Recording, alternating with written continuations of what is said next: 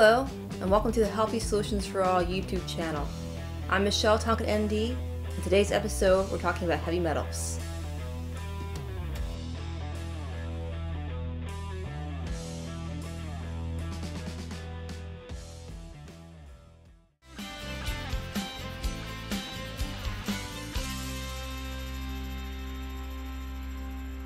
Well, thank you so much for joining me here today on this episode on the Healthy Solutions for All YouTube channel, talking about heavy metals. We're talking about heavy metals and detoxification. Now, normally when we talk about heavy metals, we're thinking about, you know, heavy metal rock and roll music. But today we're going to be talking about heavy metals that exist in the food that we eat, the air that we breathe, and the water that we drink. Heavy metals are all around us in our environment and they are present in a lot of things. So what can heavy metals do to our bodies? Well, over time, if they are allowed to accumulate, they can cause a lot of issues, um, a lot of health problems, and a lot of times people are misdiagnosed with those health problems. Uh, this can cause issues in our liver, our kidneys, even in our nervous system. And they can cause issues from anywhere from um, memory loss, headaches, depression, uh, issues, emotional issues, uh, lack of coordination, neuropathy, and even liver and kidney issues. So we're going to talk about some common sources of heavy metals and also ways you can test heavy metal heavy metals in your body and also ways to naturally detoxify. So the first source, the common source of heavy metals is actually mercury. And mercury comes um, to us in a number of different forms. Uh, Usually people can get issues with mercury from silver fillings, known as amalgams. Uh, these silver fillings, a lot more dentists are using more porcelain type non-toxic fillings nowadays, but silver fillings are very common. And but silver fillings, unfortunately, um, they can release uh, harmful and toxic mercury into our mouths. And especially if they have any leaks, if any uh, cracks in the silver filling, they can leach out this mercury into our body and actually can eat away at the myelin sheath that's protecting uh, the nerve tissue in our brain. Also can become a food source for candida, which can uh, cause issues with the gut and other things.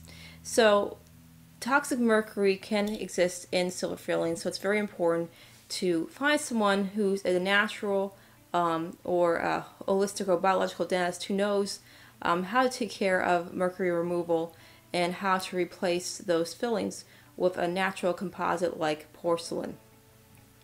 So what's another source of mercury? Another source of mercury can be found in fish. Uh, fish like uh, tuna, um, uh, tilefish, uh, even uh, shark and swordfish, even mackerel can contain mercury. So we want to make sure that the fish we're eating um, is something that is maybe a deep sea sea caught or we can also make sure that these types of, of fish um, that we're eating um, uh, fish that are more out the deep sea ocean and um, rotating our meats with other things besides fish. Also we got to be careful of vaccinations. Um, unfortunately uh, there's still some vaccinations that contain thimerosal which is a, a preservative that contains about 46.9% ethyl mercury um, thankfully um, the um, the CDC um, is helping to uh, get rid of this type of um, preservative found in vaccinations, and more and more vaccinations are being made available without this type of preservative. Uh, so if you choose to get vaccinated, uh, make sure that you're getting um, a, a, vaccine with the least amount of this particular preservative, thimerosal, or get something that doesn't contain this preservative. Also, you want to make sure you're supporting your immune system by healthy immune choices, your diet, exercise, and boosting your immune system with immune um, boosting supplements like uh, colostrum, vitamin C, um, the Nutri Nutri products we talked about before, like Cemento, Kumanda, even olive leaf extract. These are all going to be great immune boosters, so it's going to help your immune system. The next heavy metal that's very common is lead. Now, contamination from lead can come from old lead-based water pipes, uh, lead-based paint, contaminate cookware, unglazed pottery, uh, things of that nature, and um, especially in old houses. So you can find this in old houses. Uh, before 1978, um, they hadn't put a ban yet on lead paint. And so if you have if your house is an older house or if you're remodeling or renovating, you want to make sure that that paint isn't lead based. Also in 1986, um, before then, um, before 1986, lead water pipes were, actually used quite common in a lot of housing too. Um, actually, in 1986, Congress banned uh, the use of lead pipes and in their amended Safe uh, Drinking Water Act. Um, so we don't have, you know, lead-based uh, pipes anymore for drinking water in our houses. But um, you got to be careful in older homes. So make sure that if you have an older home or if you're renovating or looking to buy an older home, that that's something that you won't be dealing with.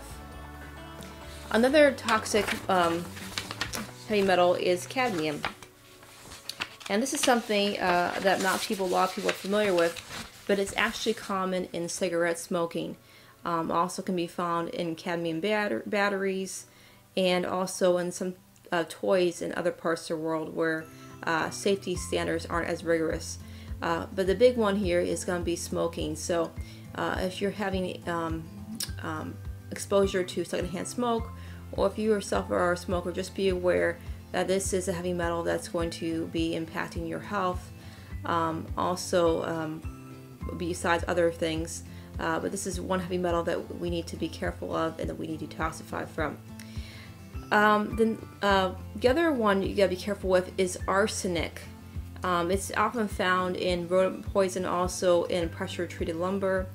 Um, this type of lumber was common um, uh, before uh, 2004, and even utility and um, uh, railroad ties can be a common hazard. Uh, you gotta be careful of cutting um, this type of wood. Contamination can be um, caused by even just putting your hands on it. Um, so you got to make sure that um, CCA pressure treated lumber, uh, that's the one that has this type of arsenic in it. Um, it can cause to toxic arsenic poisoning just by touching this stuff. So uh, be aware of the type of lumber that you are purchasing using.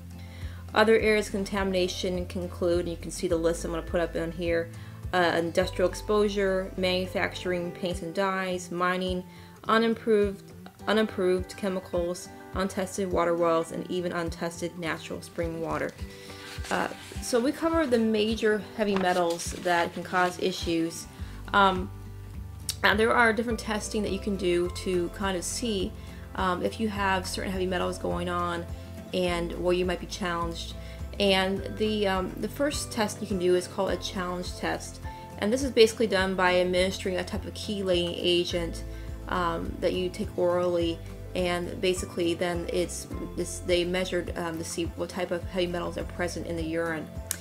Uh, then you have something called urine testing which measures the excretion of about 15 nutrient elements and to 20 toxic elements like metals such as like lead, mercury, arsenic. And this is something that would be ideal for people who have suspected uh, heavy metal toxicity as well as maybe possible nutrient wasting. Uh, then you have hair analysis, which is the one I most commonly recommend as it's pretty easy to do. Um, anyone can do it. Uh, basically, your hair is um, tested for its exposure to heavy metals. Um, and it kind of assesses um, kind of heavy metal toxicity and also it can also um, assess kind of your nutrient absorption and what you're taking in and what you have for nutrients in your body. Uh, so your hair follicles are exposed uh, to the body's blood supply during the growth. So um, your body um, shows a reflection of the body's tissues and what the concentrations are of vitamins, minerals, and heavy metals are present. Uh, so the heavy the hair mineral analysis testing uh, shows you um, kind of what issues you might have going on with heavy metals, uh, nutrient deficiencies, and also can make dietary recommendations for you as well as well supplementation recommendations. So this is something I highly recommend. Uh, we have a, a, great company that we uh, recommend on our site. I'll put the, um, the company here. Uh, check it out. It's a really good company and I highly recommend them. Um, let me see here what else we have. Okay, so those are the basic testing that you want to look into doing. Again, the hair mineral analysis testing is going to be the one of the easiest ones to do. Uh, for detoxification, so there's a, a, few ways you can do this. Um, DMSA is a very popular one. It's often used by um, doctors. Uh, the chelate metals like mercury, arsenic, and lead to help remove that from the body. Um, this is available in both intravenous and oral forms. It's also known as Chemet in the oral form. It crosses the blood-brain barrier, so it's good at removing heavy metals from the brain um, and often is recommended um, after uh, removal of amalgams. So this is something they recommend after you go to dentist and have those amalgams removed or sore fillings. Um, the next one is EDTA, and this is also a chelator. It's commonly used for removing um, calcium uh, buildup from the arteries, reducing hardening of, hardening of the arteries. Uh, it's also available orally intravenously and also as a rectal suppository. So the advantage of the EDTA is that um, it can be administered at home. You don't have to go into a clinic or something like that to have this administered. And uh, since the, the body's normal elimination of heavy metals is through the feces and urine, uh, this is a great way to do it. Also, it's safe for children. So about five of these um, EDTA suppositories are equal to one of the IV um, of chelator. And one of the best brands that we have found and I've used with clients is called Detoxamin. And it's um, a pretty uh, well-known uh, EDTA uh, suppository. It also is pretty safe. Um, it's able to remove uh, lead, mercury, nickel, cadmium, arsenic, barium, uranium, uranium, and aluminum. And it's also time release, so it's demonstrated up to three times of effectiveness as uh, intravenous chelation therapy. Also, this allows it to be to go to a much gentler and slower pay, place, um, pace for detoxification uh, so that it's easier on people, especially kids. Um, the only thing with doing um, detoxification of heavy metals, you gotta be careful because as it's going and capturing those heavy metals, it can actually bind up uh, good minerals and, and things of that that your body needs. So you have to replace those as you're doing these detoxifications and you can do that um, by doing green drinks and also other supplementations of vitamins and minerals. Another thing you can do is vitamin C. Uh, vitamin C orally is a, a great detoxifier, uh, but it's very hard to reach a bowel, bowel, tolerance of vitamin C in order to be effective.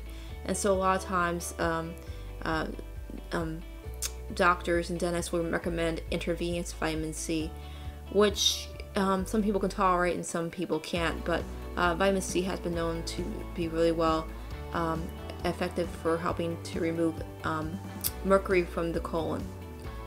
Cilantro is another herb that's great for helping to remove mercury, cadmium, uh, lead, and aluminum in the bones and nervous system, and also aids liver in detoxification and supports organ function like the pancreas and intestines.